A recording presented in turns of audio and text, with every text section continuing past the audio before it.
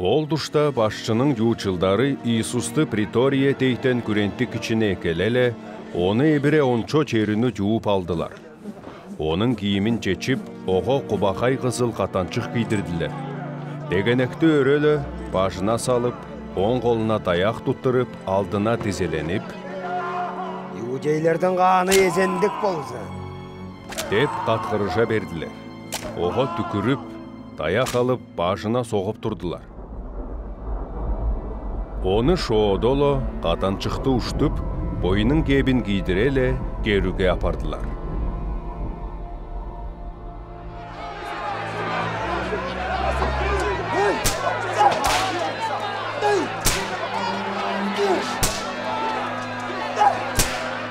Чыгып барадып, Киринейдің Симон деп кишисине туштайла Иисустың керу ағашын апарсын деп оға жақардылар.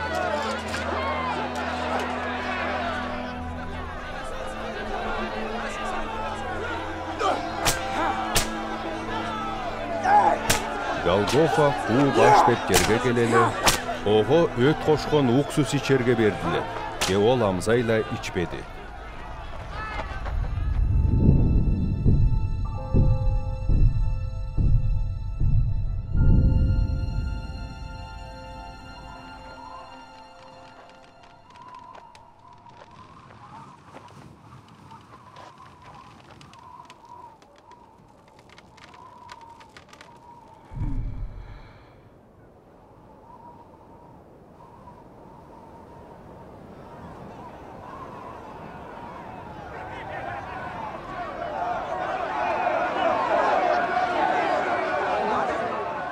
Оны кере тартқандар дезе шыбаға таштап киімін үлешіп алдылар.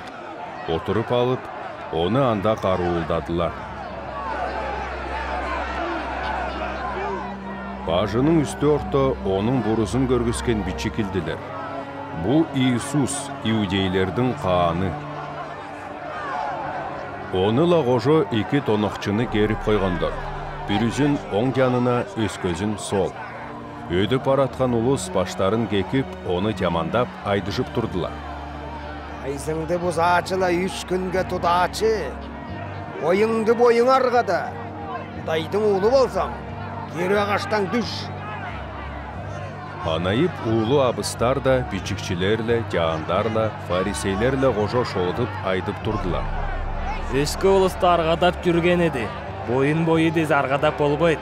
Ол қаны болсы, емді көрі ағаштан дұшта оға. Құдайға еженген еді. Оға ярамықты болсы, емді Құдай оны арғадазын.